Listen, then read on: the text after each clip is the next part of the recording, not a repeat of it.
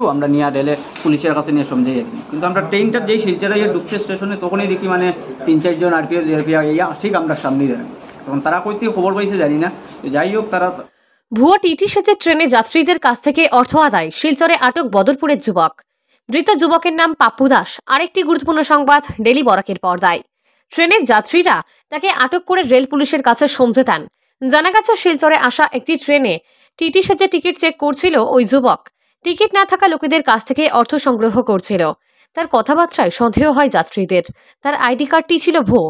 তাকে আটক করে রাখেন যাত্রীরা। ট্রেনটি শিলচর রেল স্টেশনে পৌঁছাতেই তাকে আটক করে রেল পুলিশ। বর্তমানে থেকে জোর জিজ্ঞাসাবাদ চালাচ্ছে পুলিশ। নিয়মিত গুরুত্বপূর্ণ সংবাদের জন্য daily Barak YouTube channel subscribe করুন। যদি ফেসবুকে দেখে থাকেন, তাহলে পেজটি ফলো ও লাইক করুন। আমাদের উপস্থাপনা নিয়ে মতামত থাকলে কমেন্টে অবশ্যই জানাবেন। আচ্ছা তুমি কয়েকদিন থেকে এরকম করবে দুই দিন হয়েছে হ্যাঁ? দুই দিন হয়েছে মানে কত টাকা টোটাল কালেকশন করছ? আজকে একশো ষাট টাকা করছাম দিলাইছি আবার ঘুরে আচ্ছা এই আইডিয়া মাথার থেকে আইলো কেমনে করিয়া এমনি মানে ট্রাই করছিলাম কই আর কি কীরকম হয় টি। ডিউটি এটা এমনি যা সিম্পল দেখানো করছি। ট্রাই করলাম। বাড়ি কোন জায়গায়? বদরপুর। বদরপুর কোন জায়গায়? কাটিগড়া আচ্ছা। আর পড়াশোনা কতটুকু গ্রাজুয়েশন কমপ্লিট করলাম কোন কলেজ থেকে? ডিপু গভর্নমেন্ট কলেজ হ্যাঁ? ডিপু গভর্নমেন্ট কলেজ বাড়ি ডিপু হ্যাঁ। তোমার বাড়ি বদরপুর কই না যায়? না এখানে মাতারা সব ওখানে থাকেন বাবা ওখানে জব করেন আচ্ছা। আর এখানে আমরা নিজস্ব বাড়ি। আচ্ছা। বদরপুর ছাড়ার পরে ট্রেনে উঠছে দেখলাম। ওইটা মানুষের প্যাসেঞ্জারের টিকিট চেক করছে। চেক করে যারার কাছে টিকিট চেক করতে আইছে এরা টিকিট দেখাইয়া দিছে। আমার ই বাইয়ের কাছে আমার পিছে আছিল আমার ই বাই তো এই বাইয়ের কাছে যখন গেছে বাইয়ের টিকিটটা যায় আমার এখানে আইতে আমি জিগাইলাম তোমার টিটি নি এ আমার পরিচয় দিছে না অ্যাসিস্ট্যান্ট টিটি। বললাম অ্যাসিস্ট্যান্ট টিটি তাহলে আই কার্ডটা দেখি। দেখি আমি দেখাইলো হে। তখন আরও সব প্যাসেঞ্জারে উঠিয়ে আইছে সন্দেহ হয়েছে আমি বললাম তাহলে তোমার দেখি সব কিছু হয় তুমি ইয়েতে ফোন করো। ফোন করিয়া জানিলাম রেলওয়ে এনকোয়ারিতে রেলওয়ে এনকোয়ারি যখন ফোন করা গেলাম। আমার কাছে কোনো নাম্বার নাই। তো আমার লগের যে বাড়িতে আছে তার কাছে নাম্বার আছে।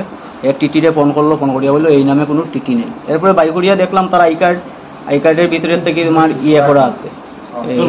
হ্যান্ড পাম্প পাম্পের একটা ওয়ারেন্টি কার্ডের মধ্যে ইন্ডিয়ান রেলওয়ের ইয়ে লাগাইয়া ফিতা লাগাইয়া এটা দিয়েই চলে।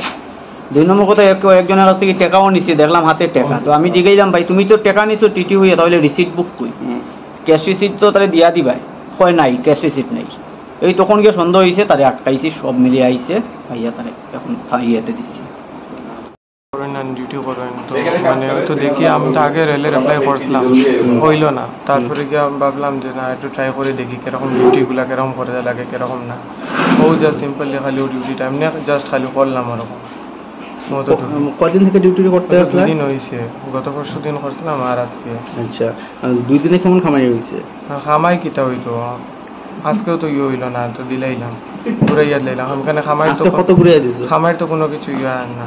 আজকে ঘুরে কত দিছো? ওয়ান সিক্সটি রুপিস আর গতকালকে? গত পরশু দিন গত পরশু দিন আসিল একশো নব্বই একশো দুইশো নব্বই টাকা আসিল। আচ্ছা। এটা আবার রিটার্ন রিটার্ন বলতে আম- মানুষে আমার গেছিলা তার খুচরা আসিল না। তারপরে আবার রিটার্ন দিলাম একশো টাকা তো একশো নব্বই টাকা আছে আচ্ছা বর্তমানে সরকারের কাছে তোমার কোনো দাবি আছে নি? না। চাকরি লাগে না? চাকরির তো বেজান অ্যাপ্লাই করলাম কিন্তু ভাই আর না। কিতার মধ্যে চাকরি করার ইচ্ছা করে? আমার তো রেলওয়ে ডিপার্টমেন্টও করার ইচ্ছা। আচ্ছা। যে চাকরি পাইছ না থেকে নিজের থেকে পড়া শুরু করে দিছো? যে সরকার একটা কো যে একটা চাকরি দিত করিয়া কইবাই নে। যে যদি নিউজের থ্রুতে যদি দেখে তে হয়তো বা তোমার প্রতি তারা কিছু একটা করবা। জব করার তো বেজানো ইচ্ছা। হুম জব করার তো বেজানো ইচ্ছা। আচ্ছা। তো গভর্নমেন্টের কাছে ওখানে ইয়ে দাবি করি আর যে মানে আমার একটা মানে চাকরির